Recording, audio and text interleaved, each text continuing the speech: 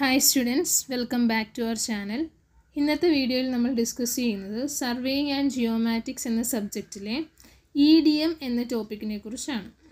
Electronic distance measurement എന്ന ടോപ്പിക്കിനെ കുറിച്ചാണ് നമ്മൾ ക്ലാസ് എടുക്കുന്നത്. സോ ആദ്യം തന്നെ ഡിസ്റ്റൻസ് മെഷർ ചെയ്യാനുള്ള മെത്തേഡുകൾ ഏതൊക്കെയാണെന്ന് നോക്കാം. അതിനുശേഷം എന്താണ് ഇ ഡി എം എന്ന് പഠിക്കാം. ഇപ്പം നമുക്ക് ഡിസ്റ്റൻസ് മെഷർ ചെയ്യാൻ വേണ്ടി മൂന്ന് മെത്തേഡ്സാണുള്ളത് ഡയറക്റ്റ് ഡിസ്റ്റൻസ് മെഷർമെന്റ് ഉണ്ട്. ഒപ്റ്റിക്കൽ ഡിസ്റ്റൻസ് മെഷർമെന്റ് ഉണ്ട്. അതുപോലെ തന്നെ ഇലക്ട്രോ മാഗ്നറ്റിക് ഡിസ്റ്റൻസ് മെഷർമെന്റും ഉണ്ട്. ഡയറക്റ്റ് ഡിസ്റ്റൻസ് മെഷർമെന്റിൽ നമ്മൾ യൂഷ്വലി മെഷർമെന്റ് എല്ലാം എടുക്കുന്നത് ഒന്നുകിൽ ചെയിൻ വഴി അല്ലെങ്കിൽ ടേപ്പ് ഉപയോഗിച്ചിട്ടായിരിക്കും. ഒപ്റ്റിക്കൽ ഡിസ്റ്റൻസ് മെഷർമെന്റിന്റെ അകത്ത് നമ്മൾ ഒന്നുകിൽ ടാക്യോമെട്രി വഴി അല്ലെങ്കിൽ സബ്റ്റൻസ് മെത്തേഡ് വഴി അല്ലെങ്കിൽ ടെരിമെട്രിക് മെത്തേഡ് വഴിയായിരിക്കും ഡിസ്റ്റൻസിനെ എല്ലാം മെഷർ ചെയ്യുന്നത്. ഇനി ഇ ഡി എം എന്ന് പറഞ്ഞാൽ നമ്മൾ ഓൾറെഡി പറഞ്ഞു എന്താണ് ഇലക്ട്രോ മാഗ്നറ്റിക് ഡിസ്റ്റൻസ് മെഷർമെന്റ് എന്ന് പറഞ്ഞു. അങ്ങനെ പേര് വരാനുള്ള മെയിൻ കാരണം. ഇത് ആക്ച്വലി എന്താണ് ഇലക്ട്രോണിക് ഡിസ്റ്റൻസ് മെഷർമെന്റ് ആണ്. ഇലക്ട്രോ മാഗ്നറ്റിക് എന്ന് വിളിക്കാനുള്ള മെയിൻ കാരണം എന്താണ്? നമ്മളിവിടെ ഇലക്ട്രോ മാഗ്നറ്റിക് വേവ്സിനെ യൂസ് ചെയ്തിട്ടായിരിക്കും എന്ത് ചെയ്യുന്നത്? ഡിസ്റ്റൻസ് മെഷർ ചെയ്യുന്നത്. ഇനി ഇതിൽ നമ്മൾ ഇ ഡി എത്തിനെ കുറിച്ചാണ് പഠിക്കാൻ പോകുന്നത്. അപ്പം ഡി എം ഓൾറെഡി പറഞ്ഞുകൊണ്ട് തന്നെ എന്താണ്? ഇലക്ട്രോണിക് ഡിസ്റ്റൻസ് മെഷറിംഗ് ഇൻസ്ട്രുമെന്റ് അല്ലെങ്കിൽ ഇലക്ട്രോണിക് ഡിസ്റ്റൻസ് മെഷർമെന്റിനെയാണ് നമ്മൾ ഇ ഡി എം എന്ന് വിളിക്കുന്നത്. അപ്പോൾ ഇവിടെ നമ്മൾ ഇലക്ട്രോണിക്കലി ആയിരിക്കും ഡിസ്റ്റൻസിനെ എല്ലാം മെഷർ ചെയ്യുന്നത്. അപ്പോൾ ഡിസ്റ്റൻസിനെ മെഷർ ചെയ്യാൻ വേണ്ടി യൂസ് ചെയ്യുന്നത് ആരെയായിരിക്കും? ഇലക്ട്രോ മാഗ്നറ്റിക് വേവ്സിനെ ആയിരിക്കും യൂസ് ചെയ്യുക. ഈ മെത്തേഡ് കൂടുതലും നമ്മൾ എംപ്ലോയ് ചെയ്യുന്നത് ഡയറക്റ്റ് ഡിസ്റ്റൻസ് മെഷർമെന്റ് അല്ലെങ്കിൽ ഒപ്റ്റിക്കൽ ഡിസ്റ്റൻസ് മെഷർമെന്റ് പാടായിട്ടുള്ള സ്ഥലങ്ങളിൽ അതായത് ടെറൈൻ ഡിഫിക്കൽട്ട് ആയിട്ടുള്ളതാണ് അല്ലെങ്കിൽ ഇൻകൺസിസ്റ്റന്റ് ആയിട്ടുള്ളൊരു ടെറൈനാണുള്ളത് വലിയ ഒബ്സ്ട്രക്ഷൻസ് ഒക്കെ ഉള്ളൊരു ടെറൈനാണ് എക്സിസ്റ്റ് ചെയ്യുന്നത്. അങ്ങനെയുള്ള കണ്ടീഷനിലാണ് നമ്മൾ എന്തിലോട്ട് പോകുന്നത്? എത്തിലോട്ട് പോകുന്നത്. അല്ലെങ്കിൽ ഡയറക്റ്റ് ഡിസ്റ്റൻസ് മെഷർമെന്റോ അല്ലെങ്കിൽ ഒപ്റ്റിക്കൽ ഡിസ്റ്റൻസ് മെഷർമെന്റോ ആയിരിക്കും അഡോപ്റ്റ് ചെയ്യുക.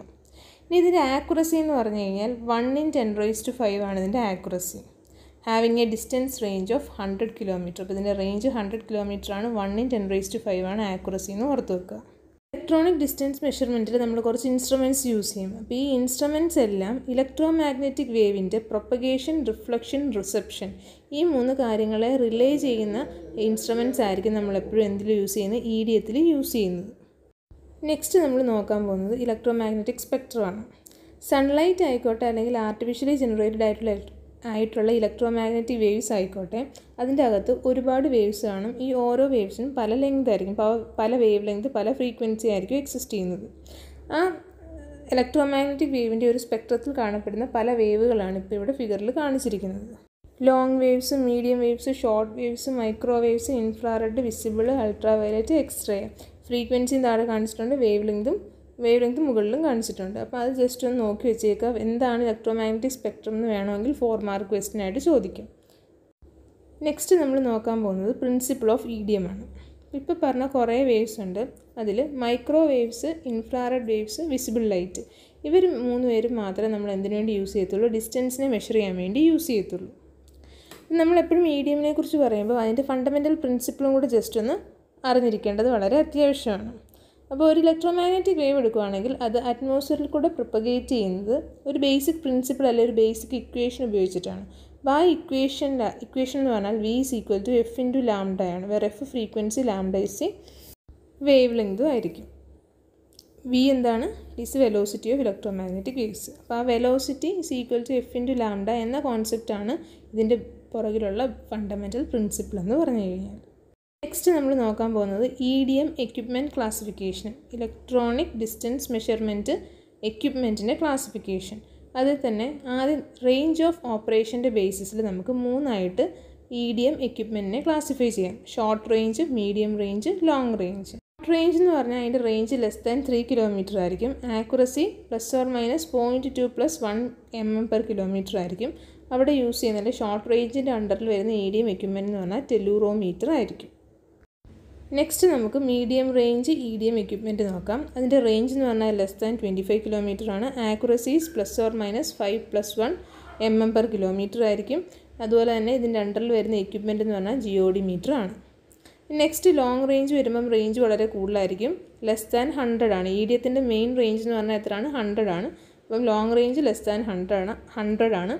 Accuracy plus or minus ten plus three ആയിരിക്കും. അതുപോലെ തന്നെ അതിന്റെ അണ്ടറിൽ വരുന്ന ഇൻസ്ട്രുമെന്റ് അല്ലെങ്കിൽ എക്യുപ്മെന്റ് എന്ന് പറഞ്ഞാൽ ഡിസ്റ്റോമാറ്റ് ആയിരിക്കും.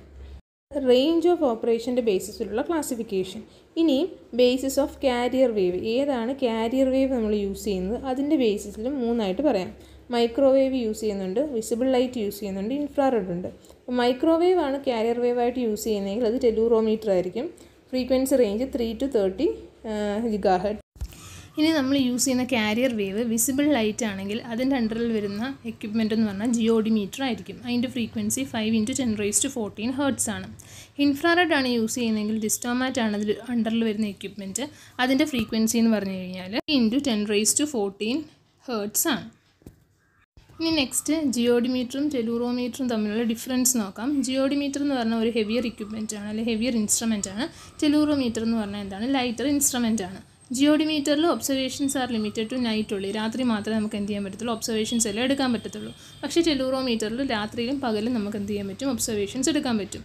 ഇനി ജിയോഡിമീറ്ററിന്റെ അത് ഇൻസ്ട്രുമെന്റ് ഈ setup at one end and reflector at the other end instrument ഒരു സൈഡിലും റിഫ്ലക്ടർ അതർ സൈഡിലും ആയിരിക്കും വെച്ചേക്കുക പക്ഷേ ടെലൂറോമീറ്ററിന്റെ അകത്ത് രണ്ട് എൻഡുകളിലും രണ്ട് ഐഡന്റിക്കൽ ഇൻസ്ട്രുമെന്റ്സ് പ്ലേസ് ചെയ്തിട്ടുണ്ടായിരിക്കും. ജിയോഡിമീറ്ററിന്റെ അകത്ത് ലൈറ്റ് വേവ് ആണ് ലൈറ്റ് റേഡിയോ വേവ്സ് ആയിരിക്കും യൂസ് ചെയ്യുന്നത്. ജെലൂറോമീറ്ററിന്റെ അകത്ത് ഹൈ ഫ്രീക്വൻസി റേഡിയോ വേവ്സ് ആണ് യൂസ് ചെയ്യുന്നത്.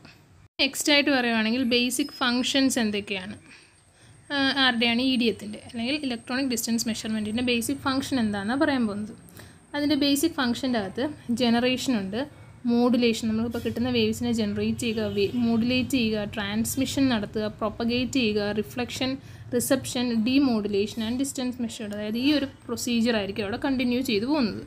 മീൻ ചെയ്യുന്ന ഇത്രയേ ഉള്ളൂ. ഇ ഡി എം യൂസ് ചെയ്യുമ്പം ഈ കറക്റ്റ് രീതിയിലായിരിക്കും നമ്മൾ എന്തെങ്കിലും ഈ ഒരു സീക്വൻസിലായിരിക്കും അവിടെ പ്രോസസ്സുകളൊക്കെ നടക്കുന്നത്. ആദ്യം വേവ്സിനെ ജനറേറ്റ് ചെയ്ത് അതിനെ മോഡുലേറ്റ് ചെയ്ത് ട്രാൻസ്മിറ്റ് ചെയ്ത് പ്രൊപ്പഗേറ്റ് ചെയ്ത് റിഫ്ലക്റ്റ് ചെയ്ത് എൻഡ് നമുക്ക് എന്ത് കിട്ടും? ഡിസ്റ്റൻസ് മെഷർ ചെയ്യാൻ പറ്റും.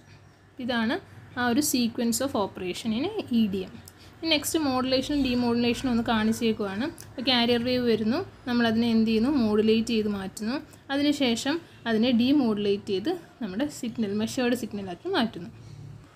ആ ഒരു ചെറിയൊരു പ്രോസസ്സ് ഒന്ന് കാണിച്ചതേ ഉള്ളൂ. ജസ്റ്റ് ഒന്ന് അറിഞ്ഞിരിക്കാൻ വേണ്ടി അല്ലാതെ പഠിക്കേണ്ട ആവശ്യമൊന്നുമില്ല. ഇ ഡി എം യൂസ് ചെയ്യുന്ന സമയത്ത് അതായത് ഇലക്ട്രോണിക് ഡിസ്റ്റൻസ് മെഷർമെന്റ് യൂസ് ചെയ്യുന്ന സമയത്ത് ആ ഒരു ഓപ്പറേഷൻ എങ്ങനെയാണ് ക്യാരി ഔട്ട് ചെയ്യുന്നതെന്ന് പറയാം. അപ്പോൾ ആദ്യം തന്നെ നമ്മൾ ഇൻസ്ട്രുമെന്റിനെ കൊണ്ടുവന്ന് സെറ്റ് ചെയ്യുവാണ്. അപ്പോൾ സെറ്റിംഗ് എപ്പോഴാണ് ഫസ്റ്റ് ഫസ്റ്റ് എന്ത്? സ്റ്റെപ്പ് എന്ന് പറഞ്ഞു കഴിഞ്ഞാൽ റിഫ്ലക്ടറിനെ നമ്മളൊരു റിമോട്ട് സ്റ്റേഷനിലായിരിക്കും നമ്മൾ കൊണ്ടുവന്ന് പ്ലേസ് ചെയ്യുക. നമ്മൾ പറഞ്ഞ ഒരു ഇൻസ്ട്രുമെന്റും റിഫ്ലക്ടറും കാണും. റിഫ്ലക്ടറിനെ റിമോട്ട് സ്റ്റേഷനിൽ കൊണ്ടുവന്ന് പ്ലേസ് ചെയ്യും. നമ്മൾ എന്ത് ചെയ്യുന്നു?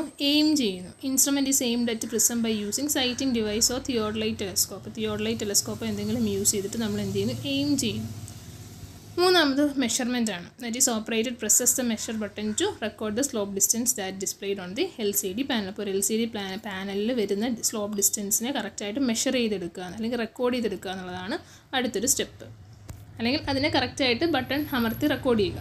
അവസാനമായിട്ട് റെക്കോർഡിങ് സൈമൾട്ടേനിയസ്ലി തന്നെ മെഷർമെന്റും റെക്കോർഡിംഗ് നടക്കുവാണ്. മെഷർ ചെയ്ത സാധനം എൽ സി ഡി പാനലിൽ കാണിക്കുന്നു. അത് നമ്മളൊരു ബട്ടണിനെ പ്രസ് ചെയ്യുമ്പോൾ അത് റെക്കോർഡായി മാറുന്നു. അപ്പോൾ അത് രണ്ടും ഒരുമിച്ച് നടക്കുന്നൊരു പ്രോസസ്സാണെന്ന് കൂടെ ഓർത്ത് വെച്ചേക്കുക മെയിനായിട്ടും ആദ്യം നമ്മൾ സെറ്റ് ചെയ്യുന്നു പിന്നെ എയിം ചെയ്യുന്നു മെഷർ ചെയ്യുന്നു റെക്കോർഡ് ചെയ്യുന്നു. ഇത്രയുമായിരിക്കും മീഡിയമിൽ നടക്കുന്ന ഒരു പ്രൊസീജിയർ നെക്സ്റ്റ് ഇ ഡി എത്തിലെ മെയിൻ എറേഴ്സ് എന്തൊക്കെയാണെന്ന് നോക്കാം. അപ്പം ഇ ഡി എം അല്ലെങ്കിൽ ഇലക്ട്രോണിക് ഡിസ്റ്റൻസ് മെഷർമെന്റ് ഇൻസ്ട്രുമെന്റ്സിൽ മൂന്ന് ടൈപ്പ് ഓഫ് എറേഴ്സ് ഉണ്ടാകാനുള്ള ചാൻസ് ഉണ്ട്. നാച്ചുറലായിട്ടുള്ള എറേഴ്സ് ഉണ്ടാകാം ഇൻസ്ട്രുമെന്റൽ എറേഴ്സ് ഉണ്ടാകാം പേഴ്സണൽ എറേഴ്സ് ഉണ്ടാകാം.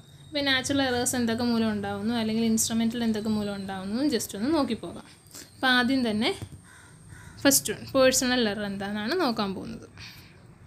ഓക്കെ ഉണ്ടാവാൻ. ഒന്നെങ്കിൽ ഇന്നാക്യുറസി ഇൻ ഇനീഷ്യൽ സെറ്റപ്പ് നമ്മൾ ആദ്യം സെറ്റ് ചെയ്യുന്ന സമയത്ത് ഉണ്ടാകുന്ന ഇന്നാക്യുറസി മൂലമാകാം. രണ്ട് instrument and reflector measurement going wrong അപ്പോൾ ഇൻസ്ട്രുമെന്റിന്റെയും റിഫ്ലക്റ്ററിന്റെയും മെഷർമെന്റ് എടുക്കുന്നതിലുണ്ടാകുന്ന തെറ്റ് മൂലവും പേഴ്സണൽ എറർ ഉണ്ടാവാം. പിന്നെ മൂന്നാമതായിട്ട് atmospheric pressure and temperature determination error അപ്പം നമ്മൾ അവിടെ അറ്റ്മോസ്ഫിയറിക് പ്രഷറിനെയും ടെമ്പറേച്ചറിനെയൊക്കെ ഡിറ്റർമൈൻ ചെയ്യും. അതിലുണ്ടാവുന്ന എററും പേഴ്സണൽ എററിന്റെ അണ്ടറിൽ വരുന്നതായിരിക്കും.